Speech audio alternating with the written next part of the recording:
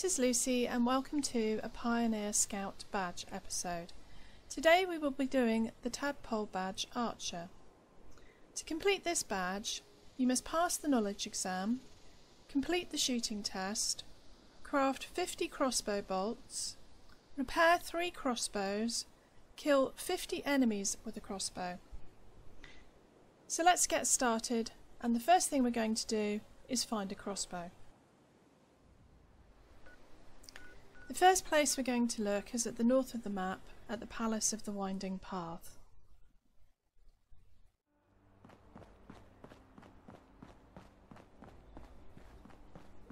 From the spawn point, head on into the car park or parking lot if you're in America. Follow the path around to the left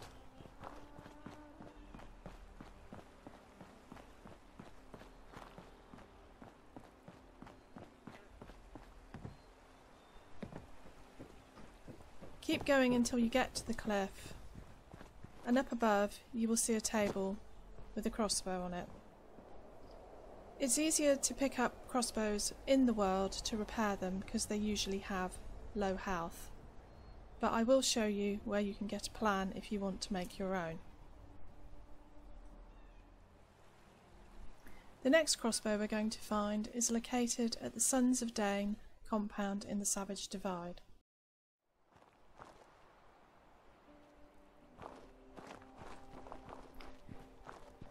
Head on into the compound, watching out for ghouls.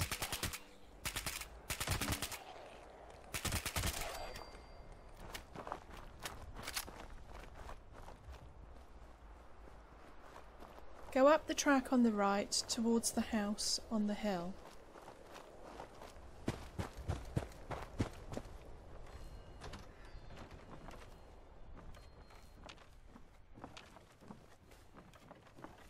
The crossbow is located in the basement behind a locked door. This does require level 3 lockpicking, so be aware of this before you go.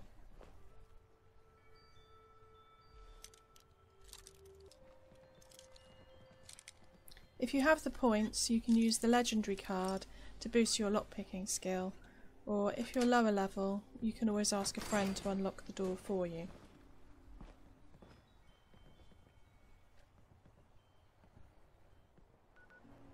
We're now off to Middle Mountain Cabins near White Springs for the final crossbow. When you land at the spawn point, go straight ahead and into the compound. Be aware there are very nasty enemies here. If you're lucky it will be honey beasts, if you're unlucky it'll be rad scorpions.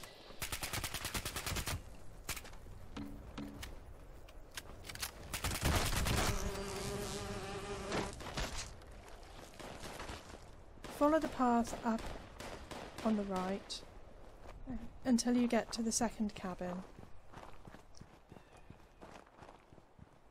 The crossbow is at the back of the cabin, leaning up against the wall on the left.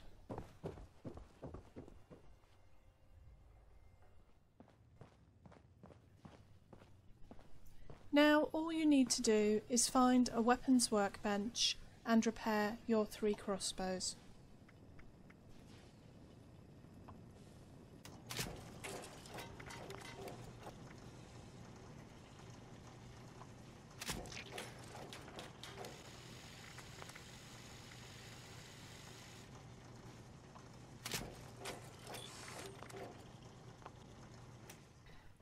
Now is also a good time to craft 50 crossbow bolts.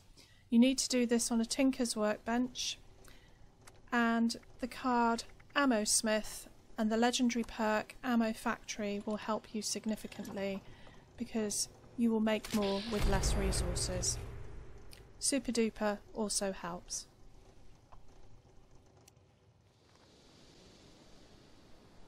Next we're heading back to the Pioneer Scout Camp to complete the shooting test.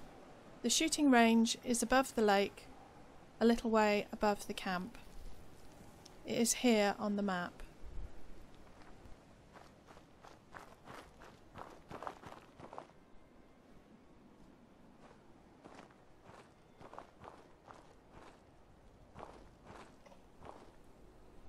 Before you start shooting, I recommend that you take a look around the area.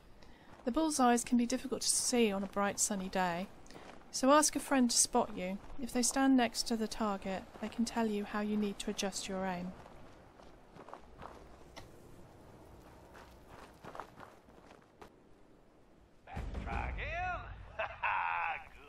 Be sure to stay within the hut. If you pass over the line, you will automatically be disqualified.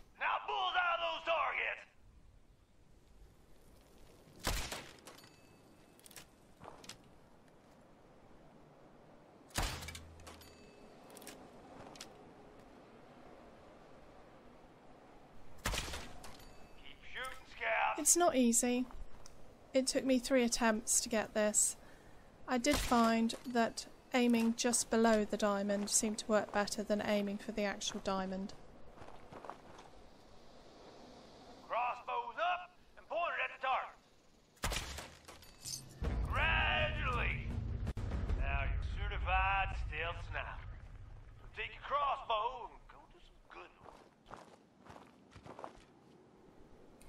It's also worth noting that this is the location of the crossbow plan if you want to make your own.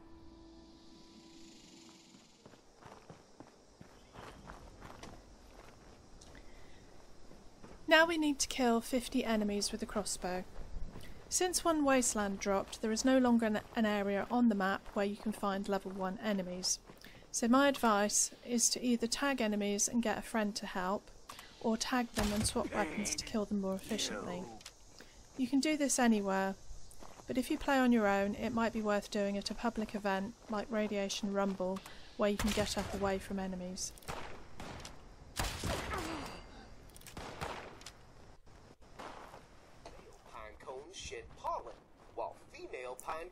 The last thing we need to do is the knowledge exam. The terminals for these are back at the Pioneer Scout Camp, and you will need to answer five questions out of a pool of 20. You don't know the answers, I will post a link below to a resource with all the questions and answers. Once you have completed this, you will have completed all the challenges, so congratulations, you have your very first tadpole badge. I hope you've enjoyed the challenge and tune in next time for the athlete badge. That's all from me today. Thank you for watching.